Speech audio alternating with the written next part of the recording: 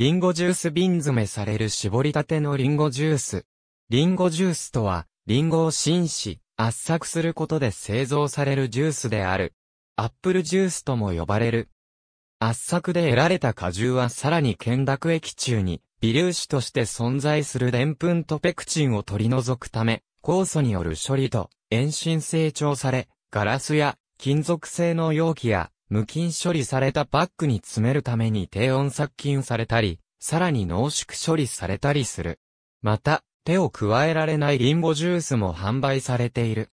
大量のリンゴから澄んだジュースを得るためには複雑で高価な設備が必要であるため、通常リンゴジュースは商用に生産される。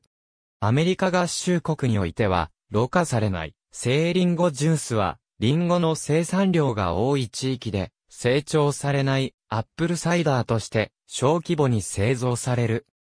これに対し、日本ではペクチンを分解した透明果汁も透明タイプ、あるいはクリアタイプとして市販されている一方、ペクチンを除去していない混濁果汁、あるいは、混濁果汁と透明果汁を混合した商品も、混濁タイプとして広く市販されている。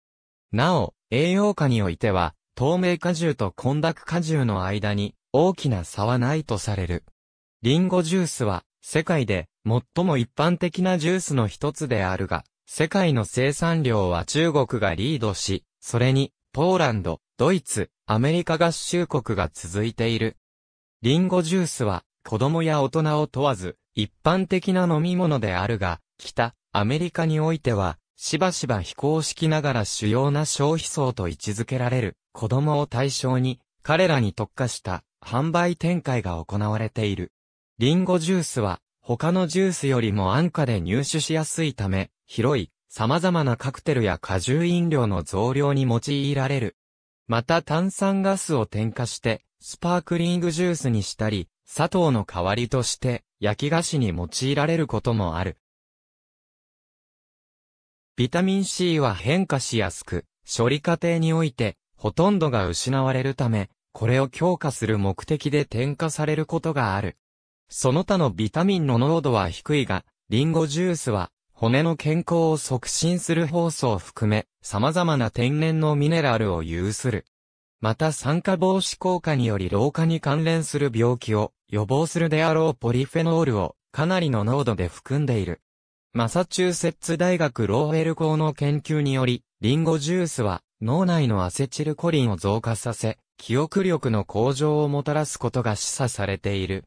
またリンゴジュースを与えられたマウスは与えられないマウスと比較すると、アルツハイマー型認知症になりにくい。日本において、最初にリンゴジュースを売り出したのは、大日本果汁株式会社である。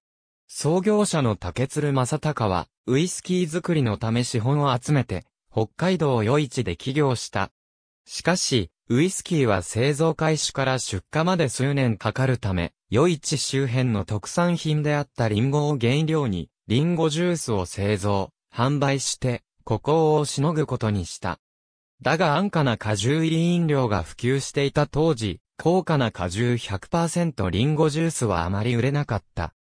しかしながら、その際、リンゴジュースの栄養価を宣伝したため、風邪の治療法として限定した形であるが、リンゴジュースが普及した。市販のリンゴジュースが入手できない場合にも、家庭でリンゴを絞って、ジュースを作って飲ませる民間療法が普及している。